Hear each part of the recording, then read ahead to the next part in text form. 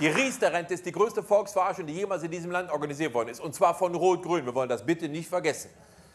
Wer 2000 Euro brutto oder weniger verdient und Riester hat hinterher Grundsicherung, wenn nicht, Riester hat auch Grundsicherung. Die Riester alle komplett für den Arsch. Und der Arsch hat auch einen Namen. Walter Riester. Einer der großen Arbeiterverräter, die die SPD hervorgebracht hat. Da gibt es eine ganze Menge von. Walter Riester, der schlecht verfugte Fliesenleger. Die Stiftung Warentest hat relativ schnell nach Einführung der Riester-Rente ausgerechnet, dass alles, was wir an Steuergeld in die Riester-Rente reinblasen, denn damit werden sie ja gelockt. Ne? Musst du machen, Riester-Rente, kriegst ein paar Euro Zuschuss im Jahr, muss er mitnehmen. Haben Sie schon mal darüber nachgedacht, wo der Staat das Geld hernimmt, was er Ihnen da dazu tut? Könnte das aus Ihren Steuergeldern stammen? Also so genau wollen Sie das auch nicht wissen. Ne? Der Deutsche kann das trennen. Der Deutsche kennt einen bösen Staat, dem immer alles abnimmt, und einen guten Staat, der ihm was dazu tut. Und diese beiden Staaten haben nichts miteinander zu tun, meine Damen und Herren.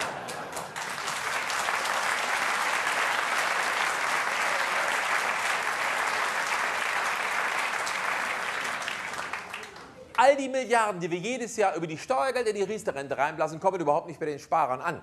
Dieses Geld versickert komplett in den Taschen der Versicherungsvertreter in Form von Abschlussgebühren und Provisionen und in den Taschen der Versicherungskonzerne. Das ist offiziell durchgerechnet. Die Sendung Monitor hat da schon vor Jahren darüber berichtet.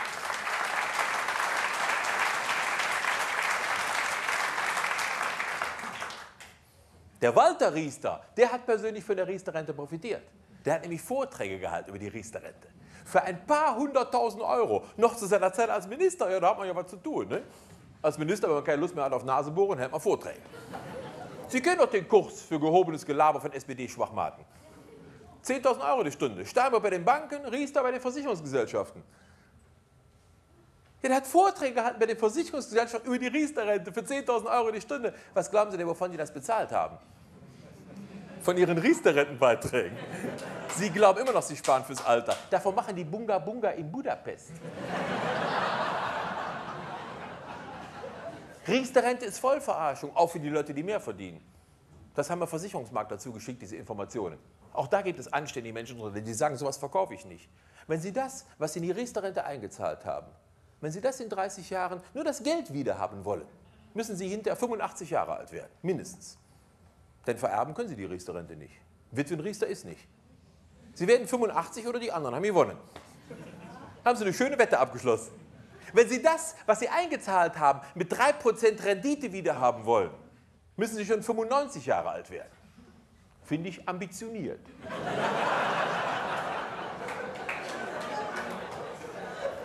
Wenn Sie das, was Sie eingezahlt haben, mit Inflationsausgleich wiederhaben wollen, müssen Sie Hesters mit Nachnamen heißen.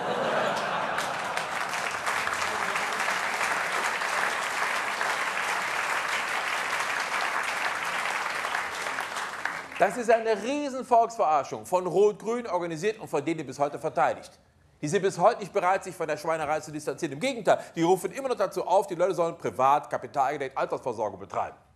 Und selbst wenn der Mindestlohn jetzt kommen sollte, er wird nicht für alle kommen und auch nicht sofort. Aber gehen wir mal davon aus, 8,50 Euro die Stunde, da weiß schon keiner, wie soll man das bezahlen? Ne? Wissen Sie, was das umgekehrt heißt, 8,50 Euro die Stunde für jemanden, der dafür arbeiten geht? Wir reden von 1.000,50 Euro netto im Monat für einen Single. Das ist deine Mindestlohn. Da weiß man gar nicht, wohin mit der Kohle. Ne? Und wenn einem dann noch jemand empfiehlt, davon noch eine kapitalgedeckte Altersversorgung abzuschließen, meine Damen und Herren, dann muss er für das Wort Arschloch eine Steigerung finden. Ich schlage offiziell Sozialdemokrat vor.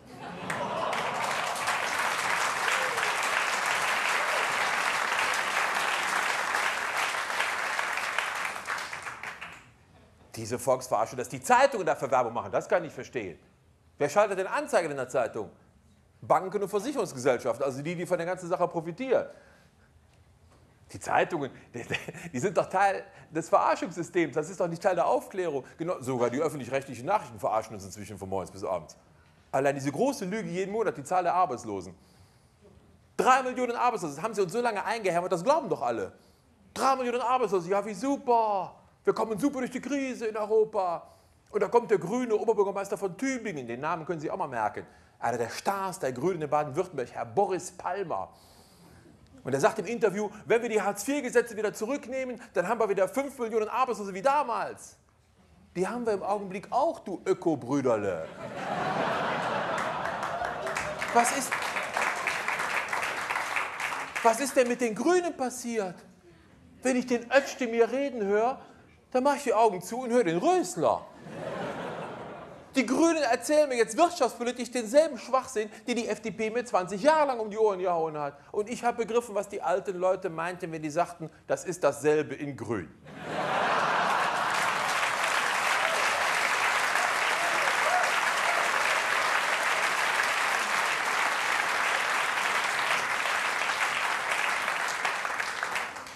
Drei Millionen Arbeitslose, ja, das ist die offizielle Zahl aus der Statistik.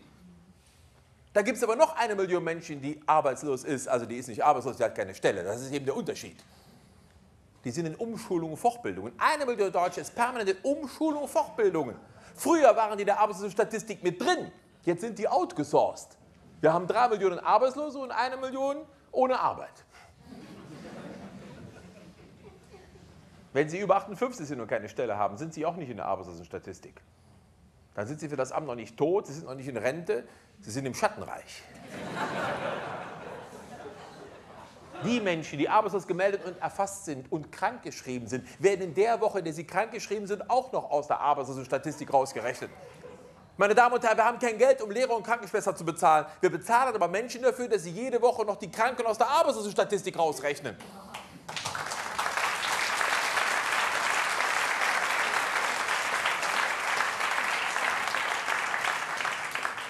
So, Herr Palmer, dann kommen wir jetzt noch zu den Aufstockern. Wollen Sie mir erzählen, dass jemand, der vier Stunden Arbeit die Woche halt Arbeit hat, das sind da Arbeitslose, die umetikettiert sind. Da geht es doch nur um die Kosmetik. 1,4 Millionen Aufstocker sind eigentlich auch arbeitslos. Da haben wir wieder die 5,5 Millionen Arbeitslose. Und dann kommen noch die Leiharbeiter, die dank Rot-Grün dauerhaft Leiharbeiter sind. Eine Million Menschen arbeitet zum Teil für die Hälfte von dem, was ihnen eigentlich zustehen würde, wenn sie fest angestellt wären. Und dann kommen die ganzen tollen neuen sozialversicherungspflichtigen Arbeitsplätze, wo sie mal Werbung machen. Wir haben so viele neue sozialversicherungspflichtige Arbeitsplätze geschaffen. Ja, ja, das stimmt. Es gibt 6 Millionen Deutsche, die haben eine volle Stellung, kommen nicht mal auf 10.000 Euro brutto im Jahr. Das sind die, die im Augenblick für 5, 6 Euro die Stunde arbeiten. 833 Euro brutto im Monat für eine volle Stelle. Da zahlen Sie keine Steuern von, dafür ist zu wenig. Aber Sozialversicherungsbeiträge dürfen Sie abdrücken. Das ist doch das Tolle, dass das sozialversicherungspflichtige Arbeitsplätze sind. Sie geben noch 20 Prozent ab von Ihren 833 Euro für Arbeitslosen, Krankenrenten und Pflegeversicherung. Ziehen Sie mal 20 Prozent von 833 ab. Wir reden von 13 Millionen Menschen, denen wir keine Stelle anbieten können, wo mehr als Hartz IV bei rumkommt. Deutschland geht es gut, das ist ein Grund zur Freude. 25 Prozent der erwerbsfähigen Bevölkerung können wir in diesem Land keine Arbeit mehr anbieten, von der man eine Perspektive entwickeln kann, geschweige denn sie eine Familie aufbauen kann. Ich leite die erfolgreichste Bundesregierung seit und keiner holt Mutti da raus und sagt, aufwachen, aufwachen. Nein.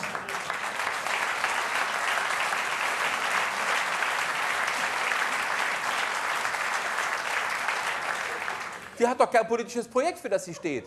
Nennen Sie mir ein einziges innerliches Thema, wo die Merkel mal gesagt hat, hier stehe ich und dafür kämpfe ich. Das gibt es nicht. Das nennt man pragmatisch heutzutage. Ja, flexibel. Ne, das ist, die könnte jede Varieté als Kontorsionistin auftreten. Das sind diese Leute, die können sich so verbiegen, die können sich selbst am Arsch lecken. Das ist genial. Die war im Gesundheitswesen erst für die Kopfpauschale. Können Sie sich noch erinnern? Auf dem Leipziger Parteitag Kopfpauschale, alles durchgerechnet, das einzig sinnvolle System. Das Wort Kopfpauschale bei der Bevölkerung nicht zu vermitteln. Da hat die Merkel nicht gesagt, jetzt hören Sie doch mal zu, das ist so und so, da haben wir uns was bei gedacht. Dann sagt die Merkel, ja, lass mal das sein, dann machen wir was anderes. Ist okay, nee, das ist schon, ist schon gut. Mir nach, ich folge euch. Das ist überhaupt nicht.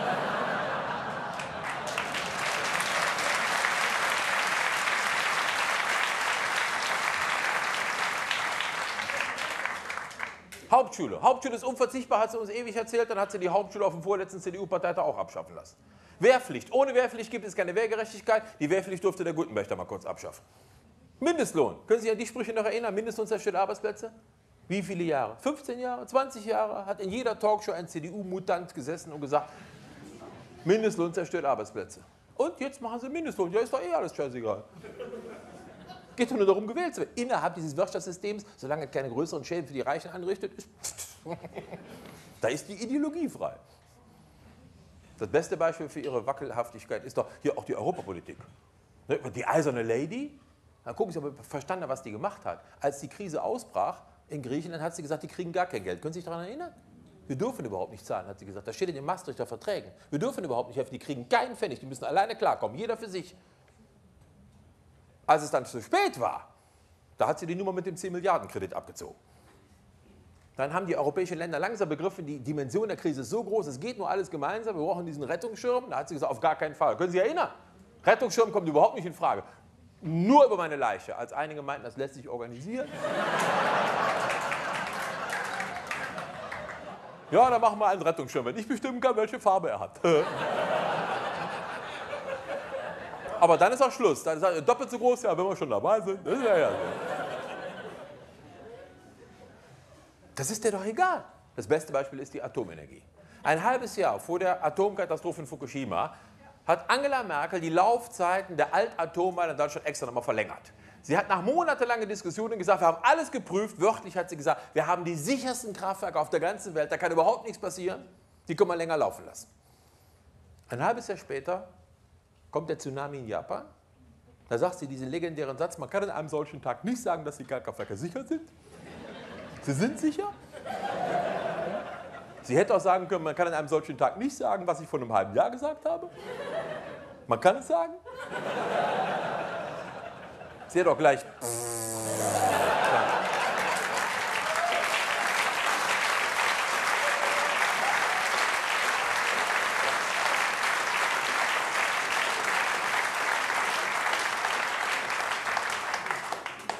Dann hat sie ein Moratorium gemacht, können Sie sich erinnern? Ein Moratorium, ihr zweitgrößter Trick. Moratorium ist nichts auf Latein.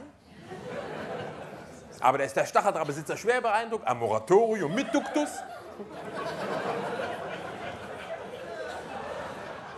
Dann hat Merkel den Stresstest für die KKVK abgewartet. Das waren die Wahlen in Baden-Württemberg. Ein paar Wochen nach Fukushima war Wahl in Baden-Württemberg. Hätten die Baden-Württemberger die CDU im Amt gelassen, wären die KKVK am Tag danach wieder für sicher erklärt worden. Wette ich mit Ihnen. Die Untersuchungen lagen bestimmt in der Schublade. So hat die Merkel gemerkt, na, mit dem Thema kann man im Augenblick keine Wahlen gewinnen. Also macht sie wieder ihren berühmten Schwenk ne, und hat die Atommeiler sofort alle stillgelegt. Die Altmeiler. Komplett. Von heute auf morgen. Ohne gesetzliche Grundlage. Das kennt ihr nur aus dem Politbüro. Da klagen die Betreiber jetzt erfolgreich gegen. Das wird uns noch Milliarden kosten, dass die einfach so stillgelegt worden sind.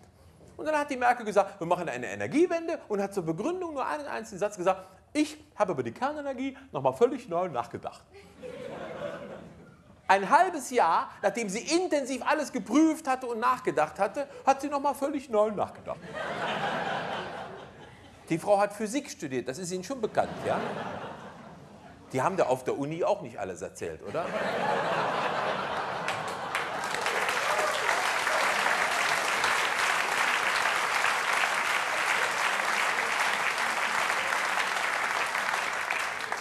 Jetzt mal unabhängig davon, ob Sie Kernenergie gut oder schlecht finden. Wie stellt sich die CDU wieder das eigentlich vor, wenn Dr. Angela Merkel nochmal völlig neu über Kernenergie nachdenkt? Holt die dann die alten Physikbücher aus dem Schrank und guckt nochmal Flugzeuge, Kraftwerke, Schwerkraft, Scheiße.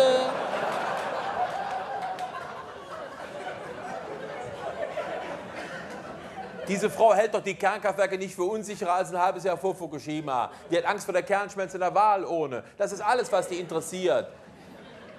Die hat keine persönliche Überzeugung. Und wenn in zwei Jahren die Deutschen rummeckern, dass die Strompreise so hoch sind, dann wird sie sagen, ja, ich hätte dann noch ein paar Altmeiler, ich könnte noch mal neu nachdenken.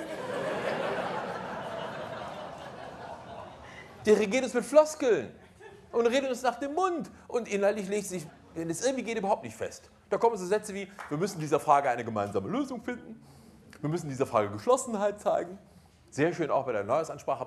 Äh, das wird ein schwieriger Weg. Wir stehen vor großen Herausforderungen. Äh, das wird eine Herkulesaufgabe. Der letzte Wahlkampf bestand aus Plakaten, da stand drauf, Wachstum braucht Weitblick. Alles Variationen von